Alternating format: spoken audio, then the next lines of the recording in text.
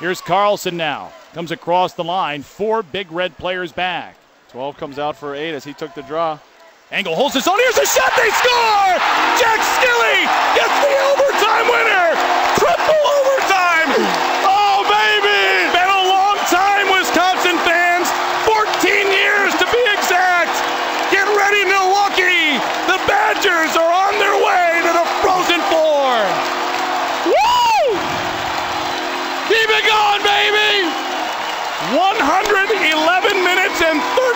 seconds into the game.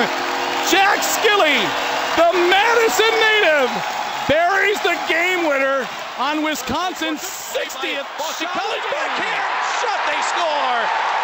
Turnover in the Badger end. Three Badgers beaten by Dan Bertram, who centered one to a man cutting in through the slot. He beat Brian Elliott left side high. 1 0 BC. Badgers remain on side. Burish picks up the puck. Here's a shot. Badgers score.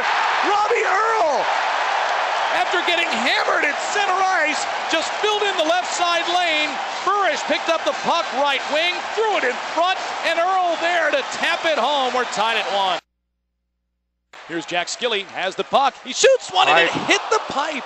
Oh my goodness, what a rocket shot, and he hit the right post. Badgers have it set up. Joudrey quickly to Burish, goal line left. Here's Gilbert now from Pavelski. Badgers score!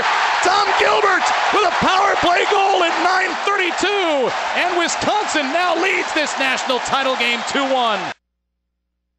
Six seconds with the Badgers up 2-1. Empty net to our right. Two seconds left. Shot in front. Hit the goal post. I believe Elliott maybe with a save. Ladies and gentlemen, the Badgers have faced the challenge. They've climbed the mountain. They are on top the college hockey world for the first time in 16 years. Wisconsin 2, Boston College 1, and the Bradley Center's up for grabs.